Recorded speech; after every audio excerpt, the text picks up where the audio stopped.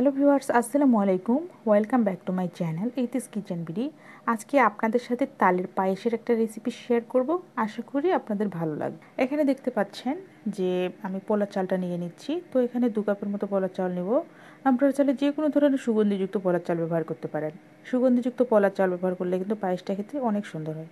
আর চালটা দেওয়ার পর সুন্দরভাবে ধুয়ে নিতে হবে যেন কোনো প্রকারের ঘোলা পানি না থাকে, একবারে কচলে কচলে ধুয়ে নেবেন। অন্যদিকে চুলে একটা ফ্রাই প্যান বসিয়ে দিয়েছি, এখানে এক লিটারের মতো দুধ নিয়েছি, দুধটা ফুল ক্রিমযুক্ত তো এখানে তিনটা সাদা এলাচ, এক টুকরো দারচিনি আমি দিয়ে দিচ্ছি। তো দুধটা এক দুইবার যখন ব্লক চলে আসবে, তো ঠিক সেই মধ্যে এখানে চালটা দিয়ে দিতে হবে। এটা জাল করার, বেশিক্ষণ জাল করার কোনো দরকার নেই। আর চাইলে আপনারা এখানে সুগন্ধের জন্য ঘ্রাণ আনার জন্য এখানে কিন্তু এলাচটা গুঁড়ো করেও দিতে পারেন। এ পর্যায়ে চালটা দিয়ে দিব এখানে, এটা জাল করে ঘন করার কোনো দরকার নেই।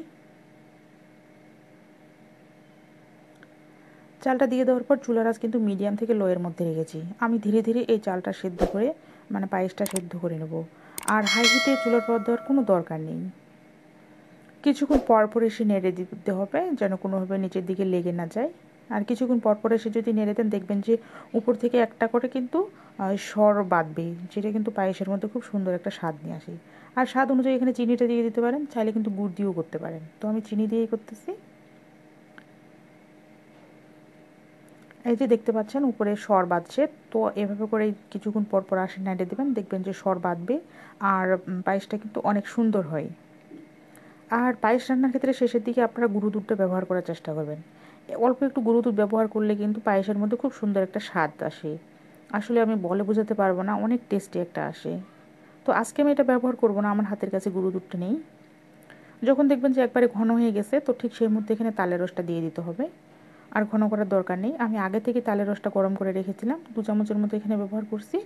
তো বেশি ব্যবহার করব না, বেশি দিলে কিন্তু মাথা ঘুরিয়ে দেয়। তালের রসের মধ্যে কিন্তু একটা বিরক্তকর ভাব থাকে। অনেকেই কিন্তু সেটা পছন্দ করে না। তো অল্প একটু দিবেন, খুব সুন্দর একটা ঘ্রাণ ছড়াবে, খেতেও অনেক মজা লাগবে। সুন্দরভাবে মিশিয়ে নিয়েছি, এরপরে এটা পরিবেশন করে নেব। তৈরি হয়ে গেল তালের পায়েস। অসম্ভব মজার, আশা করি ভিডিও ভালো লেগেছে। ভিডিও ভালো লাগলে অবশ্যই লাইক, কমেন্ট, শেয়ার করতে একদমই ভুলবেন না। আমার চ্যানেলে নতুন হয়ে থাকলে চ্যানেলটি সাবস্ক্রাইব করবেন। খাবার অপচয় করবেন না। আজকের মতো এখানে বিদায় নিচ্ছি। আল্লাহ হাফেজ।